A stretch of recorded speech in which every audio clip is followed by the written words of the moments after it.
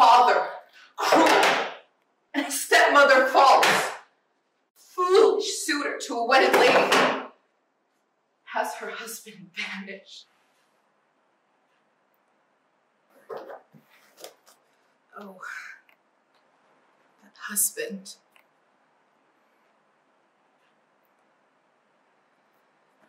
Imogen, a uh, gentleman of the city comes from Leo with letters. The worthy Leonatus is in safety and greets his wife dearly. Oh, thanks, sir. Oh, you're kindly welcome. He is one of the noblest note, to whose kindnesses I am most infinitely tied. Leo. So far I read aloud, but even the very middle of my heart is warmed by the rest. Ah, Thanks, thankfully.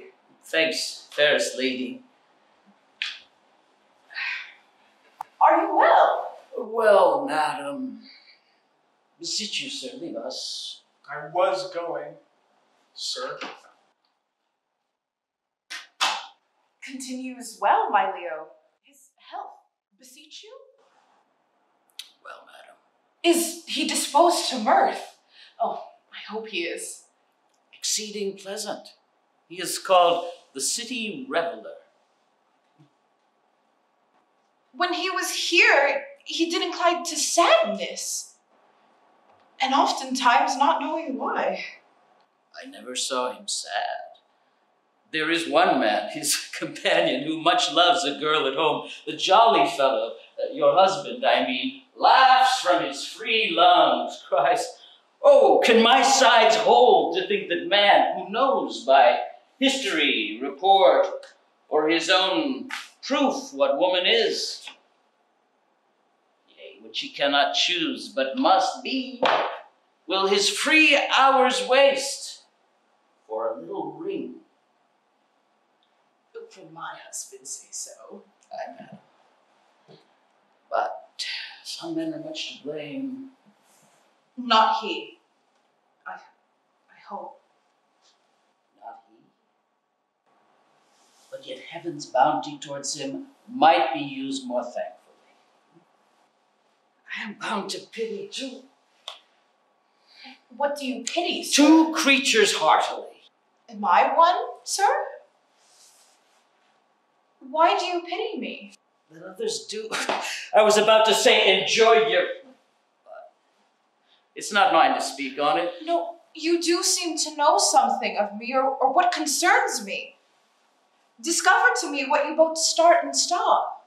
Had I this cheek to bathe my lips upon, this hand, whose touch, whose every touch would force the feeler's soul to the oath of loyalty, should I, damned then, slaver with lips, join grips with hands made hard by hourly Leo, I fear, has forgot his wife. and himself? Let me hear no more.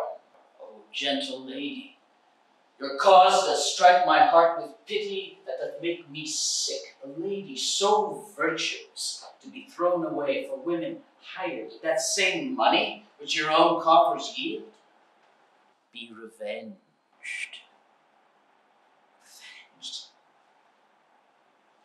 How should I be revenged? If this be true, if, if this be true, how should I be revenged? Revenge it. I dedicate myself to your sweet pleasure. Let me my service tender on your lips. Away! I do condemn my ears to have so long attended you.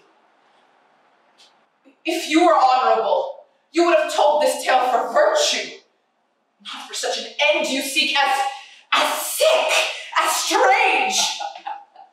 oh, happy Leonatus, blessed live you long, a lady to the most virtuous sir that ever country called his. Give me your pardon. I've only spoke this to know if your marriage vows were deeply rooted.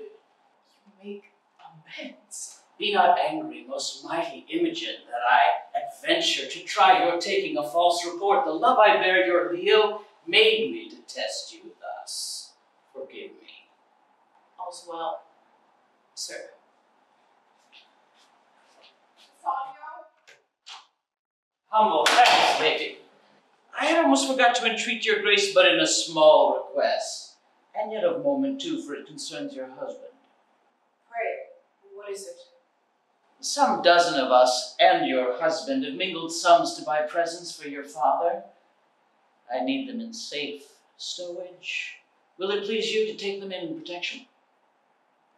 Willingly, and upon mine honor for their safety, since my Leo has interest in them.